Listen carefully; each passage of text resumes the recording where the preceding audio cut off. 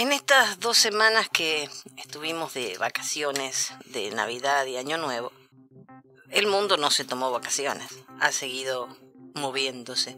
Y nos encontramos con que el señor guiado no guía más.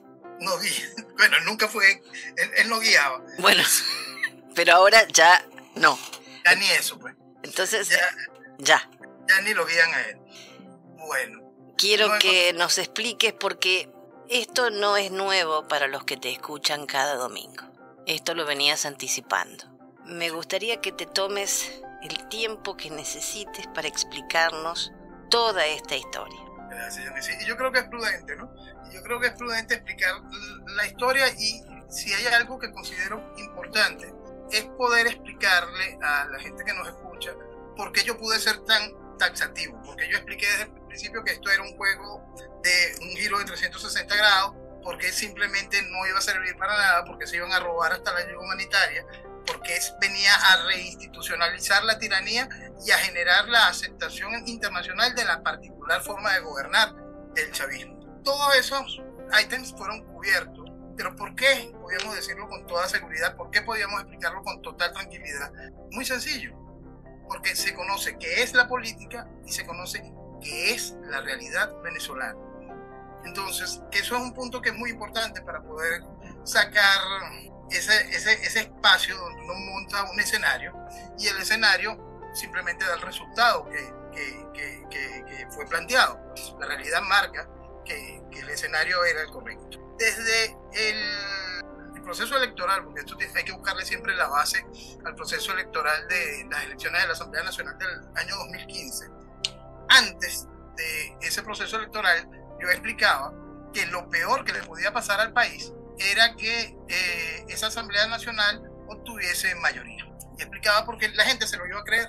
La gente se iba a creer que existía algún tipo de posibilidad electoral para salir de esta desgracia y que iba a ser eso 2018, 2019 y hasta el 2100. ¿Por qué? Porque la gente iba a creer que ese, ese triunfo electoral daba algún tipo de esperanza. Por supuesto, el gobierno es increíblemente hábil y permitió ese triunfo con esa mayoría. Esa mayoría, por supuesto, no iba a tener utilidad real para la solución del problema Venezuela, alguno. El gobierno tenía cada una de sus estructuras para poder este, limitar si hubiese algún tipo de posibilidad real por parte de esa mayoría, algún tipo de acción que fuese contraria a la estructura del chavismo, poderla limitar. No, en realidad no había, no hacía falta porque todo el principio a entender en esta realidad es que toda la estructura, toda la estructura que ha impulsado a la gente a vestir de democracia esta desgracia voto a voto durante todos estos años, cuando hablamos de toda la estructura, no decimos solo la estructura política, es la comunicacional, la académica sobre todo, que ha impulsado esta desgracia, eh, explicábamos que si usted votaba en tiranía, estaba fortaleciendo el sistema de la tiranía la gente fue a votar de nuevo con el mismo CNE que ha sido el protagonista de todo y cada uno de los fraudes anteriores. Para más explicábamos que usted iba a votar por los camaradas del régimen, los que han hecho posible todo este proceso, toda esta vestimenta democrática de esta desgracia. Venezuela ha sido entregada al imperio del absurdo comunista voto a voto y de manera democrática. Entonces, todo eso lo explicábamos previo a las elecciones de esa asamblea del año 2015. Al llegar esta asamblea al poder, este, inmediatamente la gente empieza a percibir que todo fue un desastre, porque no había nada, esta asamblea no representaba absolutamente nada, y empezaron a decir, la MUD no me representa. Entendemos la MUD, la Mesa de Unidad Democrática, que es la estructura que agrupa a todos los partidos de oposición. Y explicábamos en aquel entonces, ojalá que esto funcione como un despertar que traiga que la gente entienda esto. Y explicábamos la, la importancia de no personalizar que todo, fuese, que todo fuese englobado en esa idea. Todo esto es socialismo. El gobierno es comunista y nuestra oposición socialista es funcional, es simplemente colaboración. Todo eso fue explicado de una manera clara porque los antecedentes eran evidentes y no iba a poder suceder ninguna otra cosa. Por supuesto, esa Asamblea Nacional fue perdiendo peso, peso, peso y buscaron distintos inventos para poder cohesionar a la gente un festival de mentiras hacia esa Asamblea Nacional de nuevo. Entre ese festival de, de, mentiras vino aquel chiste del Tribunal Supremo Legítimo, todavía está por ahí diciendo disparate, este, vino el, algo con lo que calmaron las protestas del 2000, del 2017 y metieron a la gente de, nuevo en sus casas con un supuesto plebiscito y lo pusieron a firmar un bojote de papelito y, y, una ridiculez increíble, desgastando al país, humillando al país frente a la comunidad internacional. Entonces, con eso mataron las protestas que estaban naciendo en ese momento. Después hicieron otro compartir, otra tontería más. En el 2018, una nueva consulta X, pero ya el 2018 estaba muerta esa Asamblea Nacional ante cualquier persona con un mínimo de sentido común. Muerta en el aprecio, en lo que debe ser el, respaldo ciudadano a una institución que nace por elección popular y una institución, en el caso particular de donde se encuentra Venezuela en, en una supuesta confrontación política entre oposición y gobierno, a esa institución se le había dado un cuerpo a través del el voto y esa institución había, se había bypassado su, su, su, propia autoridad. ¿Por qué se la bypassean? Porque saben que no tiene autoridad porque saben que todo eso es un chiste, porque saben que la elección en sí es un fraude. Recordamos para los que cuando uno señala por qué la elección donde supuestamente triunfó la oposición es un fraude, es muy fácil. Eh, todos los presidentes de la Asamblea Nacional, todos de oposición, vivían diciendo que esa Asamblea Nacional había llegado con la legitimidad de más de 14 millones y pico de votos si la oposición sacó 7 millones y pico de votos, significa que el chavismo sacó 7 y pico millones de votos. Entonces, cada vez nosotros tenemos muy claro que, cuál es la realidad electoral cuando existe abstención, cuando son las elecciones donde nada más participa el partido de gobierno. No superan los 2 millones. Pero el trabajo constante de la oposición ha sido darle cuerpo y legitimidad político-electoral al gobierno. Entonces, de una vez ellos califican al decir que esa asamblea estaba con 14 millones de votos, con ese imposible, con ese ridículo, con esa falsedad tan gigantesca, de una vez le dan un cuerpo político electoral, un músculo electoral del chavismo que no tiene. Entonces, ese fraude electoral iba a garantizar el proceso posterior. Llegamos a, pasamos al 2018, en el 2018 volvemos, esa asamblea estaba técnicamente muerta, y lamentablemente en mi país los degeneradores de opinión, exdiputados, este, toda la casta comunicacional, le exigía a esa Asamblea Nacional algún tipo de respuesta, lo cual era increíblemente irresponsable volver a entregarle a los camaradas del gobierno este, la antorcha para que guiara el camino. Se abría el espacio, de acuerdo al hecho de que las elecciones del 2018, donde se ocurre el fraude, donde Nicolás Maduro se reelige, este, sin la participación formal de la estructura opositora, sacando un poco más de los 7 millones y pico de votos que la misma oposición reconoció en la anterior, pero en esta dice hay fraude. Entonces, como hubo un fraude, se queda claro que al terminar el periodo de gobierno, el primer periodo de gobierno de Nicolás Maduro, el cual lo legitima siendo ilegal de nacimiento porque, de acuerdo a la constitución, perdonen, de acuerdo al librito ridículo, en, el primer, la primera campaña de Nicolás Maduro él no podía ser candidato, pero venía a ser vicepresidente, y de acuerdo al librito ridículo, el vicepresidente no puede ser candidato. Este, pero eso lo validó el TCJ y toda la oposición y el candidato de aquel entonces, Capriles, le dijo, le parece muy bien que Maduro fuera candidato. Bueno, entonces, después de legitimar el periodo de Maduro de ese entonces y esperar hasta el día en que tenía que incorporarse gobierno que declara que este nuevo gobierno no existe porque aquella elección fue un fraude, volvemos al librito ridículo y hay un artículo claro donde dice si el presidente no está, el presidente de la Asamblea Nacional pasa a llevar al país a un proceso electoral para la elección de un nuevo presidente de la República en un periodo de 30 días. Es muy importante que la gente lo entienda. Usted puede agarrar el librito ridículo, ponerlo de canto, sacudirlo hacer lo que usted quiera con esa cosa y jamás va a encontrar nada que justifique la payasada que hemos vivido durante casi cuatro años. Nada. Lo increíble es que todo nuestro mundo jurídico ha salido a aplaudir semejante barrabasada. Exacto. Y siguen generando tesis llenas de leguleyerismo insensato, validando tamaña de estupideces gigantescas. Esa nueva Asamblea Nacional, y eso es otro punto para poder entender cómo funciona la política venezolana, es casi que un sorteo dentro del sorteo que los llevó a ellos a el ejercicio de la presidencia, lo llevó a la, al ejercicio de la dirección de la Asamblea Nacional. Al ser mayoría, ellos deciden que cada uno de los partidos, de acuerdo a la votación que sacaron, van uno detrás del otro en la presidencia de la Asamblea Nacional. Un año el primero, entra Henry Ramos Alup, el segundo año entra Julio Borges, en el tercer año entra un nuevo tiempo, el partido Manuel Rosales, y ponen a Omar Barbosa como presidente de la Asamblea Nacional. Pero para el cuarto año le tocaba Voluntad Popular. Voluntad Popular, el partido de Leopoldo López. Leopoldo López, este, en ese momento estaba preso en su casa, algo de eso. Este, y sus candidatos principales para ocupar el cargo de la presidencia de la Asamblea, Luis Florido, un personaje absolutamente impresentable, que en esos días tuvo que sacarlo del partido porque da vergüenza. Y el otro era Freddy Guevara, que estaba metido en la Embajada de Chile que pasó ahí metido en la Embajada de Chile cualquier cantidad de tiempo y de repente sale de la Embajada de Chile, fíjate, está tranquilo por la calle sin ningún tipo de problema. Bueno, pero en aquel momento estaba ahí. Y Voluntad Popular no le quedó más nada que sacar al guiado.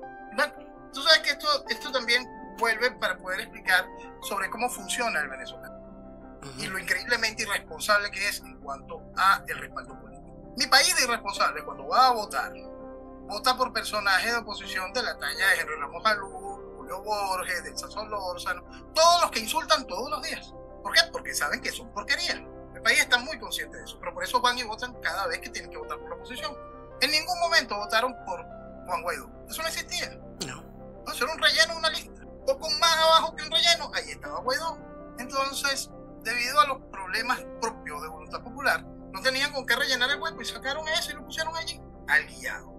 ¿Por qué? Porque no había más nada que poner como dato interesante, también para que la gente pueda terminar de comprender el tamaño de barra basada, en el momento de las elecciones, esa que hace esa Asamblea Nacional, creo que la diferencia son dos mil y pico de votos. Si Voluntad Popular hubiese sacado esos dos mil y pico de votos más que un nuevo tiempo, el que le hubiese tocado ser presidente encargado hubiese sido Omar Barbosa. Para, para, la gente de afuera no, no tendrán idea de quién es Omar Barbosa, para el venezolano promedio que no se mete en política no tendrán mucha idea pero nada más busquen, googleen quién es el personaje. Y lamentablemente mi país de responsable iba a hacer exactamente lo mismo que hizo con Aliado. Enseguida le iban a buscar comparativas con Bolívar. Nada más. Por Libertador. Y enseguida le iban a, a colocar que con su nombre salía yo no sé qué cosa y una fecha y la astrología mandaba que este era el nombre y mi país lo iba a aplaudir. Igualito como aplaudieron aliados, igualito como hubiesen aplaudido a cualquier otra pendejada que hubiesen puesto allí. Es muy importante que se entienda. Yo explicaba en ese mismo momento, no importa que pusieran, pueden haber puesto un poste, igualito la gente iba a salir. En esos, al poco tiempo, The New Yorker sacó un artículo donde ellos mismos confiesan que un encargado de marketing de Voluntad Popular dice de manera clara es que si hubiésemos puesto un perro hubiese funcionado igualito. Wow. La verdad, eso es tan sencillo como eso. Esa es la realidad. Y lamentablemente mi país no quiere pensar en país, no quiere pensar en política, no quiere terminar de entender por qué llegamos aquí. Bueno, sube el guiado de la Asamblea Nacional, todavía, entonces todavía está en el entendimiento del articulado este de qué vamos a hacer cuando haya que juramentar a, a Maduro y no se pueda juramentar parte de la Asamblea Nacional. Eh, la Asamblea Nacional va a decretar que, que, que, hay vacío de poder. Por supuesto, venía lo que debería de ser un gran choque de trenes. Lo que pasa es que de aquel lado hay un tren y de este lado lo que hay es un chip. Entonces, en ese mismo momento se explicaba que ya Maduro venía de haber presentado su memoria y cuenta eh, del gobierno anterior en un par de ocasiones frente al Tribunal Supremo de Justicia y no ante la Asamblea Nacional, que es lo que marca el delito ridículo. Semejante violación de la Constitución ya se la habían pasado también por debajo de la mesa porque no tenían mayor importancia. Ahí lo que estaba haciendo tanto Nicolás Maduro como el Tribunal Supremo de Justicia era validando la estructura del Tribunal Supremo de Justicia como un hecho de un poder que tenía la legitimidad de, de, de la voluntad popular de la Asamblea Nacional para poder validar cualquier acto protocolar del Poder Ejecutivo. Este, por supuesto, Nicolás Maduro fue y se juramentó en la Asamblea Nacional. Se juramentó en el, como presidente, se fue a juramentar en, perdón, en el Tribunal Supremo de Justicia como presidente. Todo esto seguía siendo un real desastre. Tenemos que irnos de nuevo al 2015. En el 2015, Nicolás Maduro va y presenta su, su primera memoria y cuenta de, ese momento ante la Asamblea Nacional, en ese momento donde estaba ya claro de que supuestamente iba a ser desconocido Nicolás Maduro, el presidente de la Asamblea Nacional, para ese entonces, eh, Henry Ramos Alú, dice veintitantas veces refiriéndose a Nicolás Maduro como el señor presidente de la República, señor presidente, Y aún ahí mi país todavía seguía aplaudiendo a Romano. Estaban encantados con el hombre que en el mismo discurso confiesa que él llamaba a Chávez y le decían cuando venía un golpe de Estado. señalaba a quienes estaban conspirando. Mi país seguía aplaudiendo. Esto es muy importante, porque el país tiene que hacer su mea culpa. Porque esta desgracia que estamos viviendo, la representatividad que tienen estos hombres hoy, es por el voto, por ese mojar el dedito, por los camaradas de la oposición y por no querer entender la realidad. Han sido tontos útiles una y otra vez. Este, seguimos en este momento, ya estamos de nuevo en el 2019 y el guiado llega con una asamblea, con una directiva de la nueva Asamblea Nacional a dar los pasos que indica el librito ridículo, a declararse él como presidente encargado. Entonces, en ese momento yo explicaba que no seguramente lo peor que le pueda pasar al país es que seguramente no debe suceder. Mientras mi país responsable gritaba que seguramente, que seguramente. Y era la necesidad de un acto protocolar y todo lo demás. De acuerdo al librito ridículo de Yuris, el presidente de la Asamblea Nacional era el nuevo presidente encargado. Eso no necesita mayor acto, ok, se necesita el acto protocolar. Igualito lo fueron bypassando, lo llevaron más adelante en el cuento, supuestamente el vacío de poder se extendía. No, no, no le busquen explicaciones legales o jurídicas a todas las payasadas que hemos vivido, porque simplemente es eso, es burlarse, burlarse de la manera más asquerosa y más Bueno, el guiado seguramente y lamentablemente viene una decisión que en el fondo de agradecer muchísimo, pero va con e, esa decisión va de la mano de reconocer a un acto tan ridículo eh, los Estados Unidos, encabezando una coalición de, más de 60 países, deciden desconocer al chavismo como gobierno. Desconocen a Maduro, desconocen esa, esa, elección y reconocen al presidente de la Asamblea Nacional como presidente encargado, como presidente interino. Y en ese mismo momento, esa payasada coge cuenta. ¿Por qué estos países hacen eso? Eso es.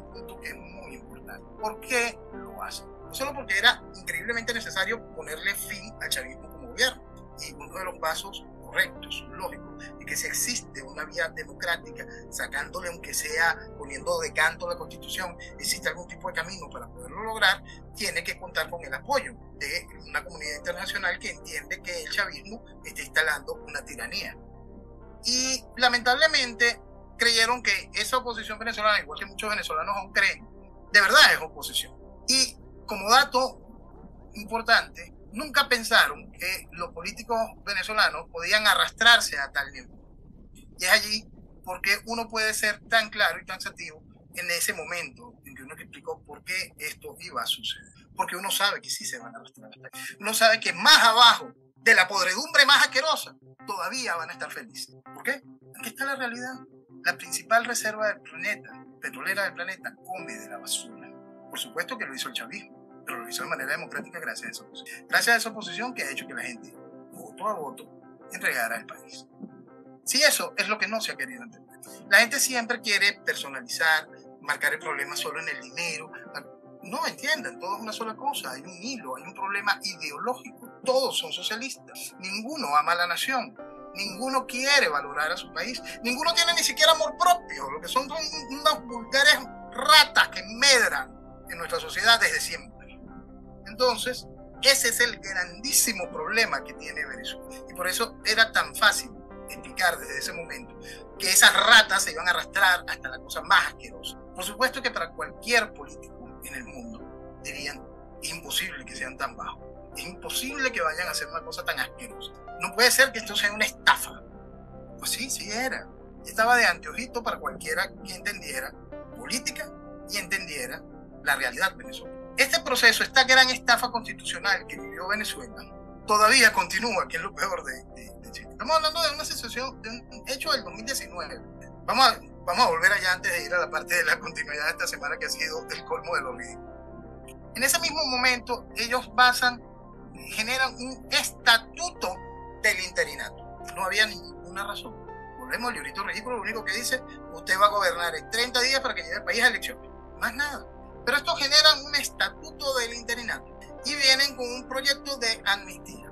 Ellos en su momento, debido a que como analizan lo ideológico, entienden lo que es el proyecto del Foro de Sao Paulo, no tienen idea de lo que es el poder, no tienen idea de lo que es el proceso neocomunista fundamentalista en el que estamos metidos, no tienen la más mínima idea del odio que tiene un proceso revolucionario hacia, hacia sus propias tierras, no tienen, no, no, no, negaban el daño increíble que le había hecho Chávez al país, creen que simplemente con una oferta de impunidad, que yo le pusieron el título elegante de amnistía, iban a conseguir que de alguna manera le quitaran el piso al proceso revolucionario, sin entender que ellos son los dueños del país, dueños. Entonces, por más que tú les ofrezcas impunidad, eso va en contra de lo que son los deseos y designios del proceso revolucionario. Va totalmente en contra de la idea del Foro de Sao Paulo. Pero igual la, hicieron que la gente aceptara la impunidad. Que la gente dijera, sí, vale, dale impunidad. Vamos a intentar salir de ellos y dale y dale impunidad. Y con eso rebajaron la moral de todo el país. Hicieron que el país de nuevo bajara la cabeza, se humillara y aceptara que la barbarie tenía razón y que la barbarie debía ser perdonada y que la barbarie debía estar ser aplaudida y contar con toda la impunidad para volver a ser gobierno si querían electoralmente. Eso lo hizo la oposición. Eso lo hizo la oposición gracias al voto. Entonces encontramos el, aquel chiste del concierto de, de, de, Cúcuta, explicábamos que la ayuda humanitaria no iba a entrar, explicábamos que la ayuda humanitaria se la iban a robar, explicábamos en aquel mismo momento también que los activos de Venezuela jamás deberían de ser manejados por ese gobierno paralelo, que los activos de Venezuela tenían que ser este, manejados por juntas directivas que estas debían ser tuteladas por entes auditores internacionales, que las eventuales ganancias de estos activos tendrían que ser reinyectadas en dichas empresas y que en ningún momento esas empresas podían volver ni a mano del chavismo y por supuesto esta estructura de gobierno interino debería de poseerlas. El desastre evidente. ¿Por qué? Porque entendemos la calaña de lo que era esa estructura política, de lo que es. Y por eso explicamos todo eso de una manera muy clara desde el inicio. Sigue el tiempo, el guiado entra y sale del país, se va de gira, lo reciben como jefe de Estado en todos los países, que, les resulta imposible creer que, que, eso sea una estafa. No pueden creerlo, de verdad. y yo ya en eso sí es, culpo a, a, mucha gente, sobre todo mucha gente que no es venezolana, que no ha vivido todos estos años, que no entiende hasta dónde pueden llegar estas ratas y que se lo crean, y que crean y les parezca absolutamente imposible. Pero para el venezolano promedio, el venezolano, sobre todo el venezolano que, que, que, entiende lo que vale su voto, que entiende lo que es la política, que entiende la realidad política venezolana, sabe muy bien que estas ratas iban a hacer eso. O por lo menos tiene que comprender de que estas ratas eran capaces de hacer eso. Entonces, sigue todo este, de, este chiste y uno explicaba de una vez, viene la nueva temporada, eh, el guiado ahora dice grosería, el guiado dice cualquier cosa, eh, otro chiste, otra nueva salida del país, y todo era eso. Pero llegamos también, hay un hito importante en el 2019, que es el 30 de abril. El 30 de abril del 2019, la gente sintió que amaneció de vuelta. El guiado, junto a, a su maestro de marioneta, su maestro puppet, Leopoldo, estaban y decían que estaban en la Carlota. La Carlota es la base aérea militar que está enclavada en el en el este de Caracas, este, y decían que estaban en La Carlota. No, que estaban en el distribuidor de la autopista a la altura de La Carlota. Y con eso pretendían engañar a un país. E, esa madrugada recuerdo clarito que yo estaba recibiendo mensajes y yo me reía, ¿no? Yo me reía y le decía a, a distintos amigos, vale, esto es un chiste, no te metas en eso. Una amiga mía decidió llegar hasta allá, me dice, oye, es que es un chiste. claro, ¿para qué fuiste? Eso es un chiste. Y me dio mucho dolor ver amigos míos creyendo de verdad en que semejante caricatura, que semejante payasada tenía algún tipo de Pero lo interesante de ese día es que ese día le dicen al país qué es lo que ofrecía Voluntad Popular, qué es lo que ofrecía el guiado, qué es lo que ofrecía la multa. Y ofrecían un gobierno donde supuestamente el que era presidente del Tribunal Supremo de Justicia, el exconvicto Michael Moreno, junto con el general que lleva casi 10 años como ministro de Defensa, Padrino López, iban a sacarle el piso a Maduro y lo iban a poner a él. Y eso se lo lograron vender a la Secretaría de Estado de los Estados Unidos y a los asesores de gobierno de los Estados Unidos. Y aquellos lo creyeron, porque no podían conseguir que esta gente estuviese haciendo una estafa. De verdad, les parecía imposible que esta gente fuese a hacer una estafa de ese tamaño.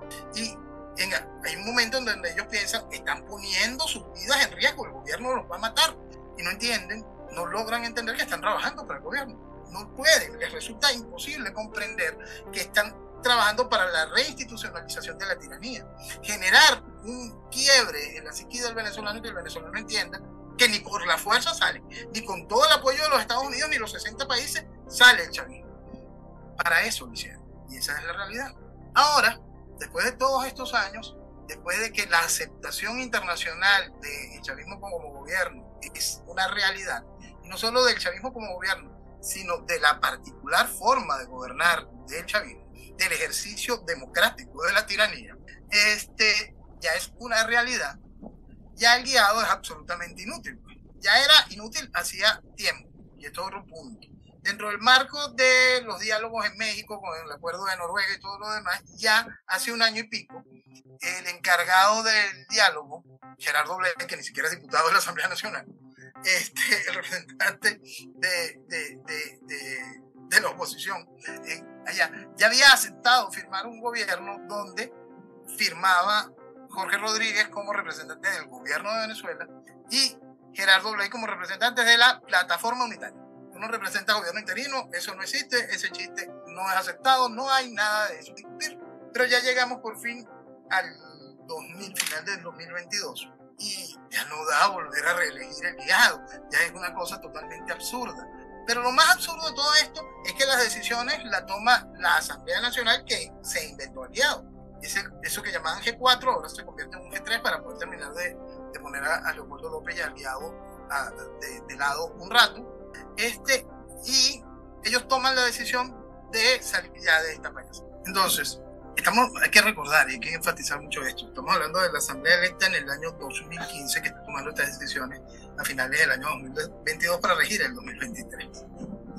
Esta Asamblea Nacional que, que trajo aliado decide que ya no se puede continuar con aliado y que ellos se van a generar una serie de comisiones para poder administrar los activos de Venezuela en el exterior, lo que avisábamos desde el principio, que nunca debían estar en manos de ese interinato nombran una nueva directiva de Asamblea Nacional que ha causado bastante risa y la gente se queja mucho de que los miembros de esta nueva directiva se encuentran en el exterior.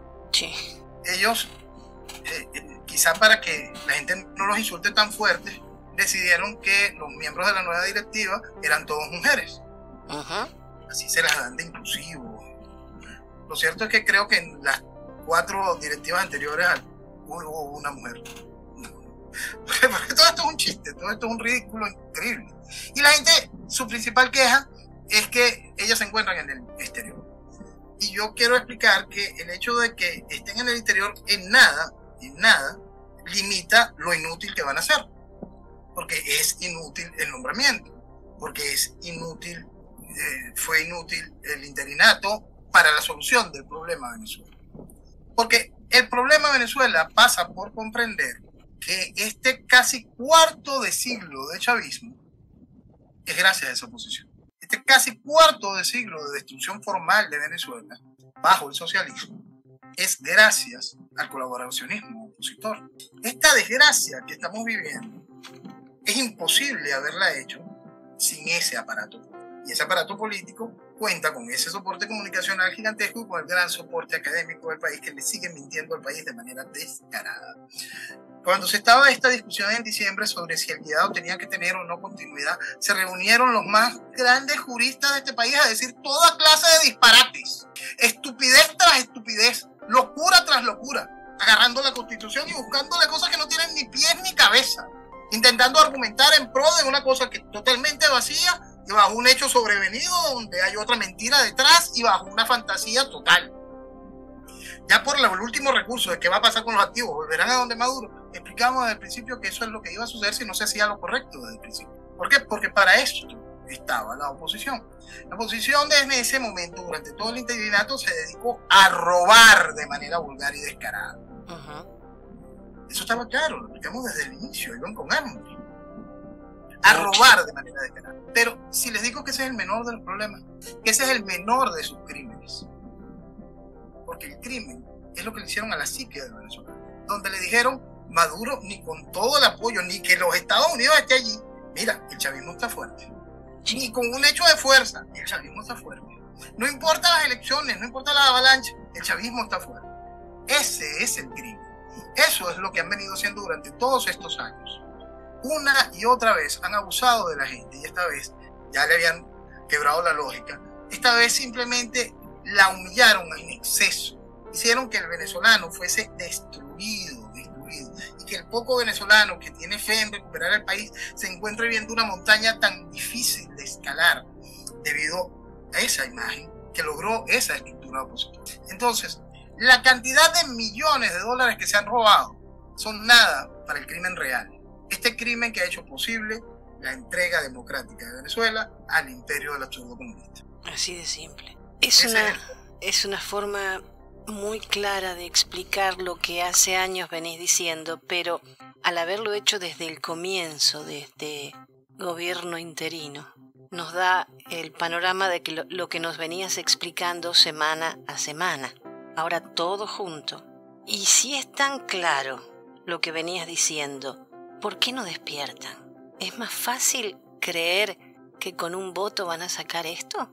Mira, más allá de la necesidad de la mentira que tiene cualquier población frente a la realidad tan difícil en la que nos encontramos. Porque vamos a poner una sola fotografía de la realidad increíble. Yo creo que no hay nada más duro que decir que, que, que, estas imágenes de, de, 8 millones de venezolanos fuera del país, hablar de eso, de venezolanos comiendo de la basura, entender que, que hoy un dólar le sale al venezolano, si estuviésemos hablando del Bolívar que encontró el chavismo, de la moneda que encontró el chavismo, le sale en 20 mil billones. Imposible de pensarlo. El número es increíblemente absurdo. Uno ve una cantidad de ceros tan increíblemente absurda que es impresionante. Esta semana corría por internet una gráfica, una gráfica terrible, ¿no? Porque te habla del proceso de crecimiento de pobreza extrema. Y en ese momento, este, los niveles bajos de pobreza extrema, el más bajo era Argentina. Este, y Venezuela estaba allí, entre los, los tres, cuatro más bajos, cuando inicia la tabla. Y allí se mantiene, tres, cuatro más bajo. Pero está el punto, 1998. Aparece Chávez. En ese momento Chávez no era gobierno, simplemente aparece. Y allí inmediatamente se empieza a ver el crecimiento de la pobreza extrema en Venezuela. Es impresionante, Se empieza a ver y va creciendo, creciendo, creciendo, creciendo. Los primeros lugares que lo ocupaban dos, dos países de Centroamérica van bajando y de repente Venezuela va creciendo, creciendo, creciendo, creciendo. Y cuando ya llega al 2012, 2013, 2014, 2015, cuando entra en la espalda del 2016, y uno se da cuenta que el número más alto de pobreza extrema que habían tenido esos dos países latinoamericanos en momentos de guerra civil que estaban viviendo esos dos países centroamericanos era del orden del 40% y te aparece en esa gráfica Venezuela con 65%. Eso es socialismo, eso es chavismo, eso es lo que han hecho voto a voto mi país irresponsable al darle su voluntad, su voz a los camaradas del gobierno. ¿Por qué lo hicieron? Porque negaron el principio ideológico. ¿Y por qué niegan el principio ideológico? Porque lamentablemente lo que los ha hecho mentirse de manera constante es que el increíble bombardeo que han vivido por parte de la estructura no directamente política, sino la comunicacional y la académica, que han sostenido esta desgracia. Entonces el venezolano se quedó sin herramientas para poder discernir cuál es la realidad. Todos los pueblos del mundo necesitan guías, todos los pueblos del mundo necesitan gente que lleve un mensaje correcto que haga elevar a sus ciudadanos. Pero nuestro país ha sido realmente pisoteado por las élites políticas, comunicacionales y académicas. Ha sido humillado de una manera descarada. Todo este resultado, y hoy vemos todavía a, grandes doctos y representantes, todos ilustres nulidades de nuestro país, felicitando al guiado y agradeciéndole al guiado. Y tú sientes ese ataque de repulsión y de asco, ¿no? Y, y, y es muy importante que el venezolano vaya haciendo nota mental de quiénes son estos personajes y cómo les habían agradecido ante Rosales y le habían agradecido ante sí. que son los causantes de este desastre. Porque el chavismo, el chavismo está ahí para destruir, esa es su razón de ser. Chávez llegó para destruir a Venezuela y al venezolano, de eso no hay la más mínima duda, ese es su trabajo. Ese fue su trabajo y es el trabajo del chavismo. Pero se supone que tiene que haber algo del otro lado de la balanza. Pero no lo puede distinguir el venezolano porque niega el principio ideológico. Si usted no entiende que Venezuela es el país con más partidos inscritos en la Internacional Socialista, si usted no entiende que eso es un hilo que se convierte en cadenas, nunca va a encontrar la solución a esto. Si usted no entiende que quien estuvo ayer de manitos agarradas con Leopoldo, con Capriles y, en, elecciones y cada, cada, una de estas cosas ofrece solución para el mañana y usted se lo cree, el problema es usted. Porque la realidad es que el problema ideológico del país era evidente para cualquiera que entendiera algo de política y entendiera la realidad venezolana. Desde el principio aplicamos, volvemos al asunto del interinato, el interinato nunca era una oportunidad, el interinato lo único que venía era para la instauración de la, la reinstitucionalización de la tiranía. Cada una de esas cosas era evidente y la realidad está allí. Pero el asunto es que también era evidente en el 2004 el fraude del referéndum revocatorio. Sí. También era evidente que en aquel momento no se podía haber hecho un referéndum consultivo y uno preguntaba, ¿cuál es el apuro de decirle a Chávez quiénes somos y cuántos somos? Eso lo preguntaba uno en enero del 2003. Me explicaba, no puedes hacerle un referéndum consultivo a Chávez con algo que está tipificado en el librito ridículo en el artículo 72. Entonces, ¿para qué vas a hacerlo? Es extemporáneo. ¿Cuál es el apuro? Todo eso se comentaba en aquellos años para poder explicar el colaboracionismo, para que se entendiera qué significa quiero salir del chavismo y la oposición no me deja. Esa realidad está allí. La hemos vivido todos estos años y sigue matando a Venezuela. Si el venezolano no termina de comprender que hay que dejar atrás todo lo que nos trajo aquí y nos mantiene aquí, Venezuela seguirá perdida en el inframundo comunista. Esa es la realidad. Y es importante recordar que el destino que quiere la revolución para Venezuela es destruir a Venezuela. No es Cuba, no. Aquí lo que se busca es un quiebre en el tejido social que exista odio entre venezolanos odio que lleve a sangre. Es difícil decirlo, pero eso es lo que busca el proceso revolucionario. Ahora que vamos a entrar en nuestro nuevo proceso hiperinflacionario próximo, eso va a generar ese, ese, esa fuerza, esa ruptura más grande en el tejido social venezolano. Porque el gobierno ha inyectado muchísimo dinero sucio en su nomenclatura, en una casta que es realmente asquerosa, es burda, es ridícula es esnovista, es, es, es una cosa derrocha. Para, y eso va generando desesperación en una población que sigue sin tener con qué comer. Y no solo es que sigue sin tener con qué comer, sino que cada vez va a comer menos, porque la inflación va a seguir avanzando, la devaluación va a ser cada vez más grande. Eso es lo que busca el proceso revolucionario, desmembrar la nación. Entonces, cuando se quiere buscar soluciones a eso, con lo que han hecho posible esta desgracia una y otra vez. Simplemente se está echando más tierra sobre la tumba de Venezuela. Es bueno despertar, es urgente despertar, entender lo que vale Venezuela y entender el problema ideológico que representa el socialismo y comprender que toda nuestra estructura política, comunicacional y académica pertenece al mismo eje. Pero ¿qué piensa el, el venezolano de a pie? Que la Asamblea Nacional, la del 2015, eligen nuevos mandatos, pero la Asamblea Nacional del oficialismo ratifica a Jorge Rodríguez. Entonces tenemos dos asambleas nacionales y, no dicen nada. No entienden que eso no funciona. El venezolano está muy ocupado intentando sobrevivir. El que no está de alguna manera conectado con el gobierno está ocupado en intentar sobrevivir. Buscó refugios en las lucecitas que le pusieron en todas las ciudades y en los lados donde pintaron y, limpiaron algo. Y la gente buscó refugio, listo, mira, déjame, déjame desconectarme otra vez de la realidad un poco. Y ahora vuelve a la realidad de intentar sobrevivir. El que está conectado con el gobierno o de una u otra manera este, eh, eh, ha, ha, logrado pasar el Rubicón y, y ponerse en, en, en, el lado de la burbuja, este, está viviendo el derroche esa sensación de opulencia y déjame ver qué hago yo con esto. Pero nadie está pensando en el país. El país, no chicos, el país se les puso muy lejos a todos los venezolanos. Y ahora con los cambios que hizo Maduro, están hablando mucho de Iván Gil Pinto, el nuevo canciller. este creo que en esta temporada debe ser como el sexto canciller en los últimos cinco años. Una cosa realmente absurda. Igualito no, no tiene mayor relevancia en el momento en que haga alguna estupidez o haga o, sea necesario sacrificarlo, volverá a Delcy y otra vez Delcy será canciller ratico. Eso no tiene en realidad ninguna importancia.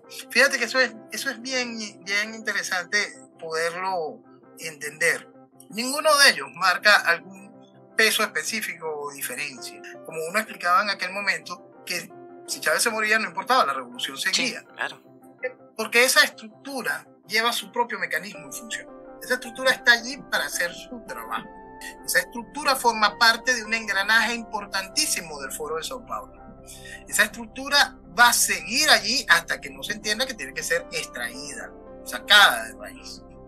Entonces, no importan los payasos de turno en ninguno de los cargos. En realidad no tiene importancia, más allá de cuando se quiera hacer un insulto particular.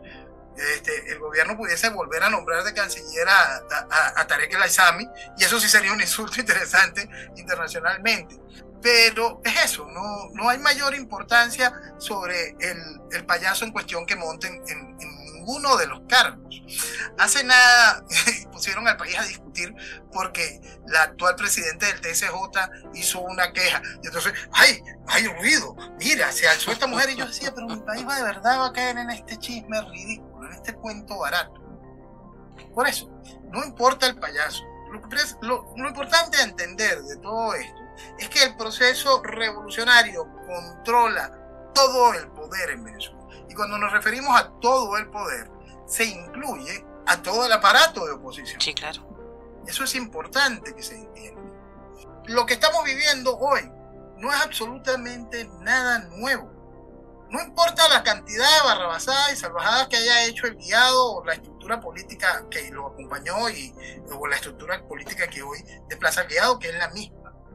Señores, las salvajadas que se cometieron aquí cuando se pidió la interpretación del artículo 72 para el, para el referéndum del año 2004 no tiene perdón. Cuando se aceptaron de nuevo recoger firmas, cuando un magistrado del Tribunal Supremo de aquel entonces demostró la legalidad de aquella firma y de una vez vamos a recoger firmas otra vez y las firmas planas, todo esto dándole tiempo a chavismo para que manejara el esquema de las misiones y que con esto se validara electoralmente el fraude siguiente no importa, todas las cochinadas ya las ha hecho la oposición con el aplauso, con el voto de la gente. Entonces, es importantísimo que la gente tenga conciencia que todo lo que está viviendo hoy ya es simplemente repetición, simplemente es un mayor nivel de la burla, pero es que cosas espantosas ya habían sucedido hace tiempo y por eso es que estamos aquí. ¿Por qué sacó a Drubal Chávez de PDVSA? PDVSA dejó de ser hace mucho tiempo lo fuerte de Venezuela lo fuerte de Venezuela es el narcotráfico. Eh, el PDVSA como tal, no porque el petróleo no tenga importancia ni nada de eso, o, que Venezuela no pueda levantarse de nuevo con, gracias al petróleo, sino que Chávez destruyó ese motor de Venezuela. En realidad, volvemos. Mañana ya Citgo va a ser desmembrada, deja de ser de Venezuela, en cualquier momento las decisiones saldrán a la luz. Venezuela tiene a, a, PDVSA absolutamente desmembrada. PDVSA no controla ni siquiera una de nuestras refinerías, está entregada totalmente a Irán. Entonces, esa es la realidad.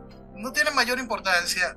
Es, que es terrible hablar en esos términos sobre lo que fue la segunda empresa petrolera más poderosa del planeta. Esa es, esa es la gracia de lo que ha logrado hacer el chavismo con Venezuela, donde técnicamente nada tiene importancia Simplemente el Stalin tropical está en el poder y mm. todo lo que hay alrededor es circo. Circo, del más barato, el más ridículo. Eso es lo que han hecho con Venezuela. Le recomiendo leer un artículo que salió en share.america.gov, donde el título ya es Cómo el oro de sangre daña la selva amazónica en Venezuela. Es un artículo muy interesante donde habla del, del daño de la minería y el daño que se hace también a las comunidades indígenas. Total, total, total. Y ahí es bueno poner el ojo sobre todas estas organizaciones ecológicas que nada más lloran por el ojo izquierdo, que ninguna ha hecho escándalo con cada uno de los desastres ecológicos que ha protagonizado el chavismo durante todos estos años. En el caso particular de lo que se está haciendo en la Amazonas con la minería, es un acto simplemente criminal criminal en todo sentido. Lo que le han hecho a las etnias indígenas no tiene nombre, lo que le están haciendo a, a, tierras únicas, a, esa tierra donde estaba el árbol de la vida, lo que Humboldt en su momento calificó como el árbol de la vida. Lo que se está haciendo simplemente criminal, ha contado con el aplauso de toda la comunidad internacional. Es importante que se entienda eso, con el aplauso de toda la comunidad internacional, porque de eso no hablan, de eso no dicen nada, calladitos están todos.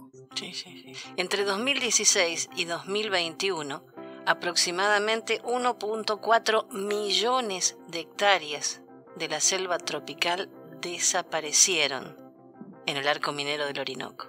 Es muchísimo. Era un, pulmón maravilloso. No solo es el pulmón. Vamos al punto adicional que la gente le puede costar aún más entender.